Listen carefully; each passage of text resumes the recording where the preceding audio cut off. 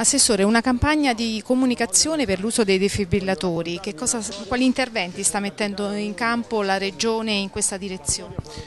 Allora, rientra nella strategia degli interventi che mettiamo in campo attorno alla rete di emergenza-urgenza. Noi desideriamo dotare le nostre comunità dei defibrillatori semiautomatici per intervenire immediatamente, ma allo stesso tempo desideriamo intervenire sulle postazioni dei 118, sull'elisoccorso, cioè dotare la comunità abruzzese di una strategia di intervento sulla rete di emergenza-urgenza più efficace, più di qualità e anche più di quantità.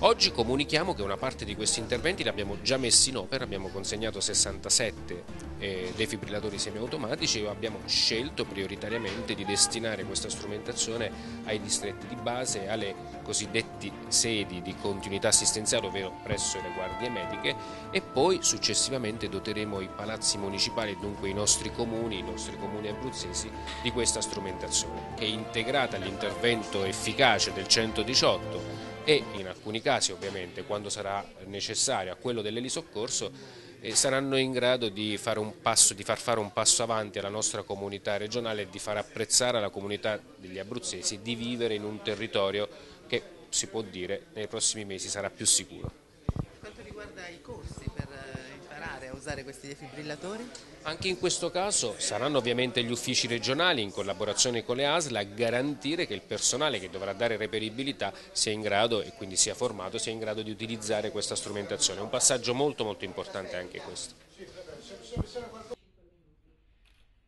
Come avete visto anche nello sport